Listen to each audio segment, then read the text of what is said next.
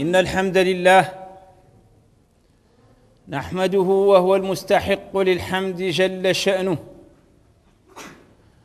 آمنا به وتوكلنا عليه ولا إله غيره. هو الذي هدى وهو الذي يوفق وهو الذي امتدح نبيه صلى الله عليه وسلم بالخلق الرفيع.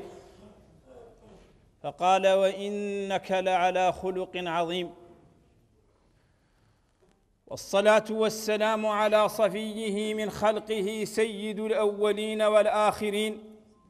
من تربع على الأخلاق بأجمعها فكان خلقه القرآن. محمد صلى الله عليه وعلى آله وصحبه وسلم تسليما كثيرا إلى يوم الدين. ثم أما بعد أيها المؤمنون بالله عز وجل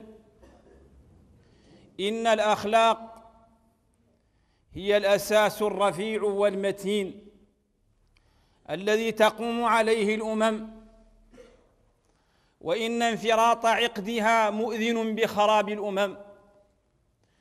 وإن محمدا صلى الله عليه وسلم إنما بعث كما في الحديث عنه صلى الله عليه وسلم ليتمم مكارم الأخلاق. والله جل وعلا شهد له بالخلق. وكان صلى الله عليه وسلم يدعو لنفسه اللهم اهدني لأحسن الأخلاق لا يهدي لأحسنها إلا أنت. واصرف عني سيئها لا يصرف عني سيئها إلا أنت. وإن الأخلاق في الإسلام منضبطة بانضباط الشرع. فما حسنه الشارع فهو الحسن وما قبحه فهو القبيح. وإننا أيها المسلمون مطالبون اخلاق الرفيعة النبيلة التي كان عليها محمد صلى الله عليه وسلم والتي أنزل بها القرآن وأمر الله سبحانه وتعالى بها في كتابه وأمر بها رسوله صلى الله عليه وسلم في حديثه الذي الذي هو متواتر لنا عنه بالسند الصحيح إلى يومنا هذا. فالله عز وجل قد أمر بالصدق والله سبحانه وتعالى قد أمر بالعدل والله سبحانه وتعالى قد حرم الظلم وجعله محرما بيننا وقال لا ظالموا عباد الله. إن هذه المجتمعات المسلمة التي كان كان كان الغير يهتدي ويتأسى بها ربما دخل الناس افواجا الله في أنحاء كثيرة من هذه المعمورة لما رأوا من المسلمين من حسن الأخلاق وحسن التعامل. وإن انفراط هذا العقد ويجمع بيننا وبين غيرنا من الأمم نحن لا نظلم الناس نحن لا نكذب على الناس نحن لا نقتل عدوان. فهذا هو شعارنا وهذه هي أخلاقنا. ألا وإنه اليوم قد انتشر في أمة الإسلام ما هو عكس ذلك؟ فإن الظلم أصبح ظاهرة منتشرة في أنحاء المعمورة والناس عليها متفقون ولها قابلون. وإن ذلك مما لا يرضي الله سبحانه وتعالى. إن ظلم الحكام وقهرهم بما لا يجوز أو على ما لا يجوز شرعا. إن قهر هؤلاء وظلمهم لهذه الأمة وتفريطهم في حقوقها هو من أسوأ الأخلاق. وإن انتشار الرذيلة بجميع أنواعها والفواحش الظاهرة والباطنة انتشارها بين الناس رذيلة وأخلاق سيئة ما كان للمسلمين أن يقبلوها في ديارهم ولا يقبلوها فيما بينهم. أيها الإخوة المؤمنون كم مرة نسمع وكم مرة سمعنا عن تعاطي هذه الشعوب المسلمة وعن تعاطينا نحن لهذه الرذيلة الخسيسة وهذه القضية الخطيرة التي هي مؤذنة بخراب الأخلاق من بعدها بأجمعها. ألا وإننا لا نفتأ في يوم من الأيام أن نسمع عن سيارة هناك مسكت مخدرات نسمع عن طائرة نزلت هناك وبها نسمع عن سفينة نزلت هناك أو رست هناك مخدرات. نسأل عن هذه والإعلام يطالعنا بذلك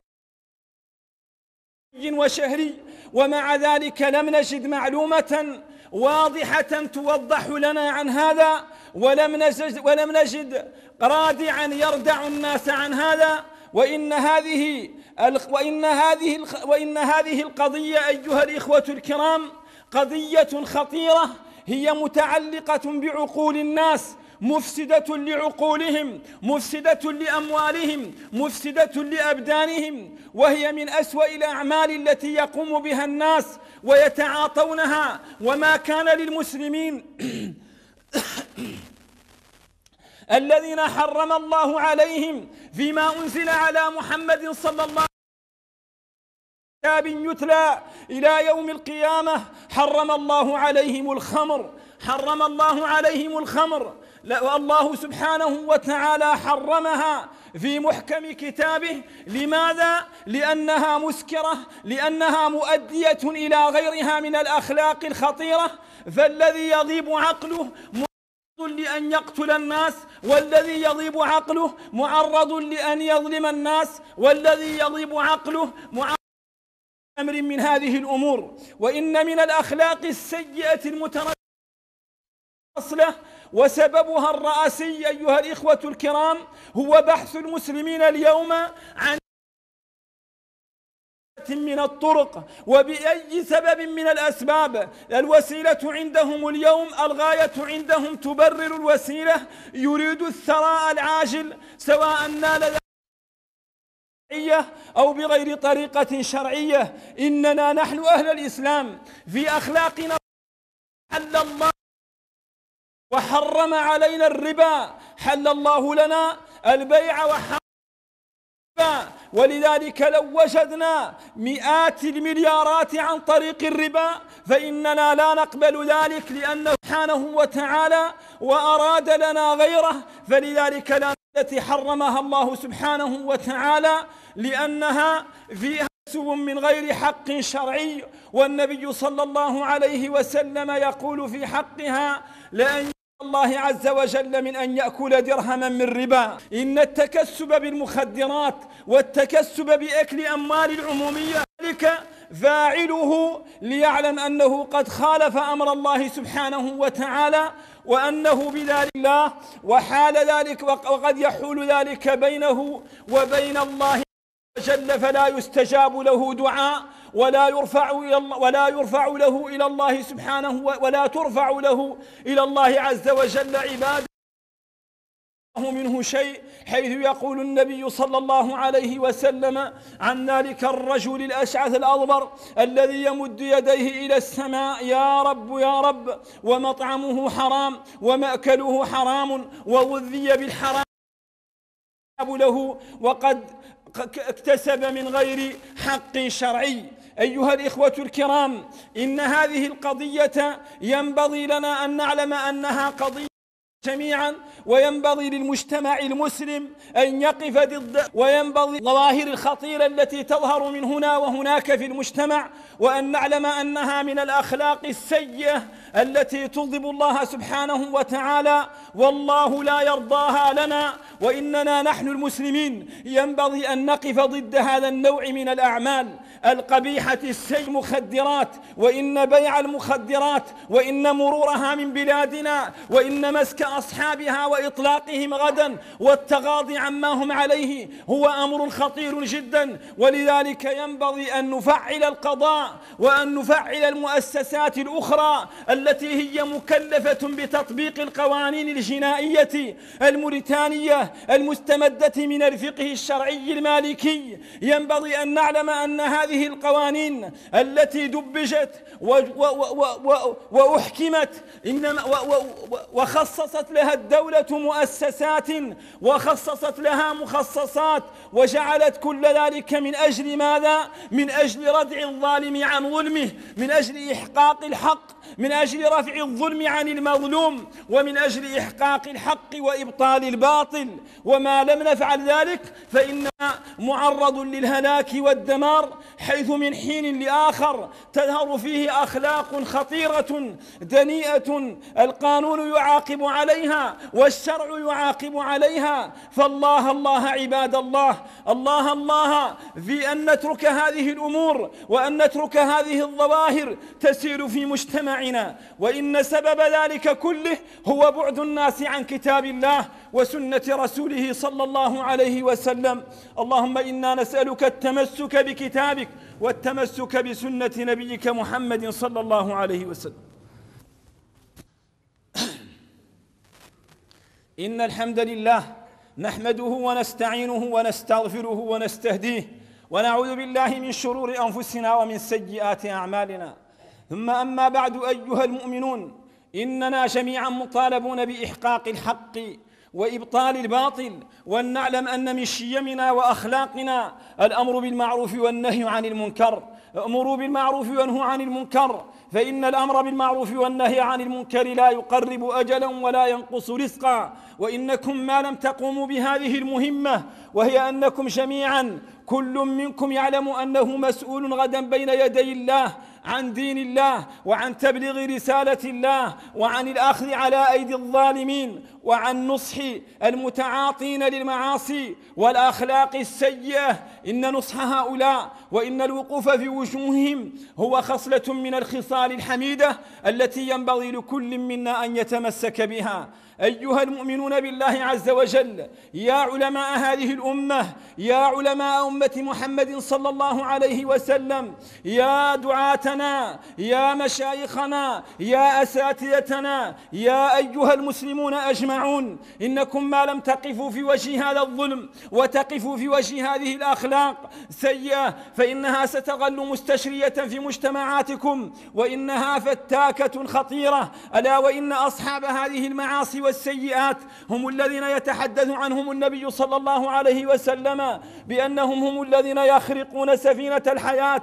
ألا وإن سفينة الحياة قائمة على طاعة الله وطاعة رسوله صلى الله عليه وسلم. وذلك ما وضحه النبي صلى الله عليه وسلم في قوله مثل القائم على مثل القائم على حدود الله والواقع فيها كمثل قوم استهموا على سفينة فكان بعضهم أعلاها وكان بعضهم أسفلها فكان الذين في أسفلها إذا استقوا من الماء مروا على من فوقهم ثم قالوا لو أنا خرقنا في نصيبنا خرقا ولم نؤذي من فوقنا فإن تركوهم وما أرادوا هلكوا وهلكوا جميعا وإن أخذوا على أيديهم نجوا ونجوا جميعا أيها الإخوة المؤمنون إن تركنا لهذا الظلم الخطير إن تركنا لهذه المظالم وتركنا لهذه الأخلاق السيئة تتفشى في مجتمعنا. الكذب حيث الناس يوم لا يتحرى أحدهم فيما يقول من حديث والكذب على الناس في المعاملات ذاك يعد ذاك بقضاء دينه فلا يقضي دينه وذاك يعد ذلك وأكل الأموال العمومية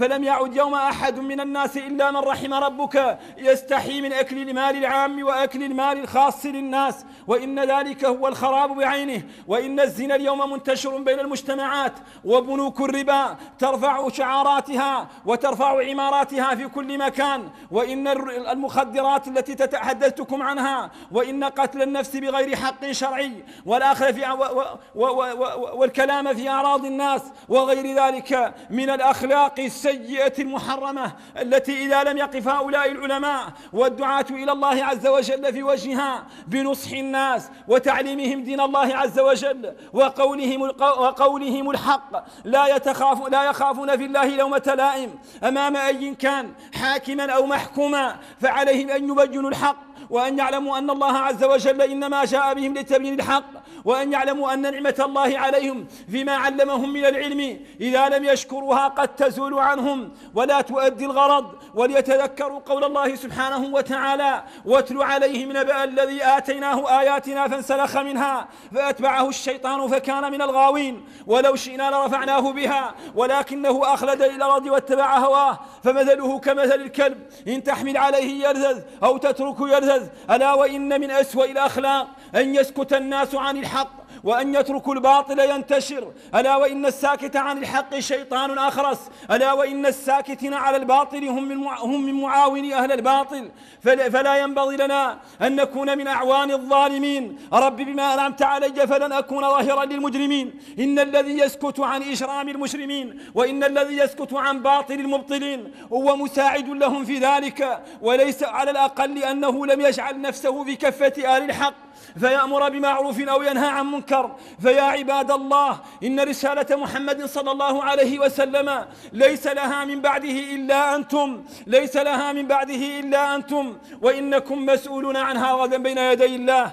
فاتقوا الله فاتقوا الله في هذه الرسالة واتقوا الله في هذه المخالق فإنها غدا ستحاسبكم. لماذا لم تبجلوا لها الحق؟ وإنكم محاسبون لماذا لم تقفون ضد الباطل؟ ألا وإن المخلوقات بأجمعها لو اجتمعت على أن تجلب إلينا خيرا لا تستطيع ذلك. ولو اجتمعت على أن تجلب إلينا ضرا فإنها لا تستطيع ذلك. لا يستطيعون نفعنا إن أرادوا ولم يرد الله ولا يستطيعون ضرنا إن أرادوا ولم يرد الله سبحانه ولم يرد الله سبحانه وتعالى. فالله الله في الأمر بالمعروف والنهي عن المنكر والأخذ على يد الظالم. كلكم راع وكلكم مسؤول عن رعيته فالإمام راع وهو مسؤول عن رعيته والرجل راع في بيته ومسؤول عن رعيته والراعي راع في مال سيده وهو مسؤول عن رعيته. ألا فكلكم راع وكلكم مسؤول عن رعيته. اللهم صل وسلم وبارك على محمد وعلى آل محمد كما صليت وباركت على إبراهيم وعلى آل إبراهيم في العالمين إنك حميد مجيد. اللهم إنا نسألك بأنك أنت الله. لا إله إلا أنت الأحد الصمد الفرد الذي لم يلد ولم يولد ولم يكن له كفوا أحد. اللهم يا الله يا حي يا قيوم يا صمد يا فرد يا الله يا ذا الجلال والإكرام. اللهم عليك بالظالمين وأعوانهم فإنهم لا يعجزونك. اللهم عليك بالظالمين وأعوانهم فإنهم لا يعجزونك. اللهم أخذهم أخذ عزيز مقتدر. اللهم أخذهم أخذ عزيز مقتدر. اللهم أخذهم أخذ عزيز مقتدر. اللهم أدر عليهم دائرة السوء. اللهم أدر عليهم دائرة السوء. اللهم أدر عليهم دائرة السوء. وسلط عليهم أقرب الناس إليهم. واجعل تدبيرهم في تدميرهم يا رب العالمين. اللهم من أراد كتابك أو سنة نبيك محمد صلى الله عليه وسلم أو الداعين إلى الحق بسوء فأشغله في نفسه فأشغله في نفسه فأشغله في نفسه ورد كيده في نحره واسمعنا فيه الساعة ما يسرنا ويسوءه يا رب العالمين إنك على كل شيء قدير. اللهم كل إخواننا المظلومين في الشام اللهم كل إخواننا المظلومين في الشام وكل إخواننا في فلسطين وفي العراق وكل إخواننا في كل مكان يا رب العالمين. اللهم كل إخواننا المسجونين ظلما وعدوانا. اللهم كن لهم يا أرحم الراحمين. وأخرجهم من سجنهم أعزاء مكرمين. ومكن لهم في أرضك وبين عبادك. وعليك بالطواغيت والظالمين أينما كانوا وكيفما كانوا يا رب العالمين. اللهم اهدنا لأحسن الأخلاق لا يهدي لأحسنها إلا أنت. واصرف عنا سيئها لا يصرف عنا سيئها إلا أنت. اللهم نحن خلق من خلقك. في بيت من بيوتك. في ساعة من ساعاتك. في يوم من أيامك. نسألك في هذا اليوم وفي هذا المكان وفي هذه الساعة ألا تخرج أحدا منا من هذا المكان إلا وقد ظفرت ما بعلمك من ذنوبه وسترت ما بعلمك من عيوبه وقضيت ما بعلمك من حوائجه وشفيت ما بعلمك من مرضه وحققت اللهم له رجاءه وسؤله وجعلته يا أرحم الراحمين من عتقائك من النار. إنك على كل شيء قدير. اللهم لا تجعل فينا ولا منا ولا معنا شقيا ولا محروما ولا عاقا لوالديه ولا عاقا لوالديه ولا مطرودا من رحمتك يا رب العالمين ولا مطرودا من رحمتك يا رب العالمين. اللهم اغفر لنا ولوالدينا ولوالديهم ولمن له حق علينا وعليهم. اللهم اغفر لنا ولوالدينا ولوالديهم ولمن له حق علينا وعليهم. اللهم اجزهم عنا خير ما يجزى والد عن ولده. اللهم اجزهم عنا خير ما يجزى والد عن ولده. اللهم اجزهم عنا خير ما يجزى والد عن ولده. واجمعنا وإياهم في مستقر رحمتك. تحت ظل عرشك يوم لا ظل إلا ظلك. وأسقنا وإياهم من حوض نبيك محمد صلى الله عليه وسلم. شربة هنية لا نظمأ بعدها أبدا. وآخر دعوانا الحمد لله رب العالمين. ويغفر الله لي ولكم ولجميع المسلمين